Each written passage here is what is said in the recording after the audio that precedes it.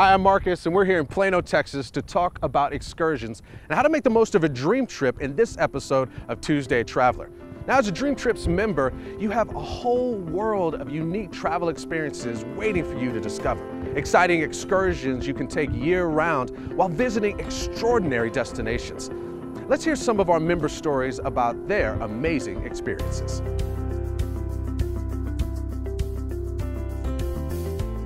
Hi, I'm John.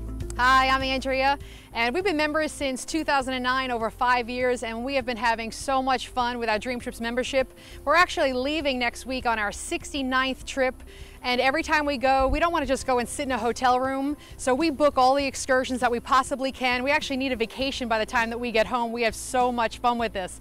John can tell you some of the actual details that we've been on. Been so many I can't even remember. One of our dream trips I, I totally remember was out of Port Canaveral on a cruise that I wanted to surprise her and have a bucket list day. And our list was probably about 12 when we joined and it jumped to about 160 within no time because uh, our just dream machine went on again and, and we saw just a new life and a new future for ourselves. So we've been checking things off our list and that morning I woke her up at 4 a.m., totally surprised her. She had no idea what we were doing. And we went on a hot air balloon ride right over Orlando at, at, sunrise. It was just a gorgeous, amazing experience for us.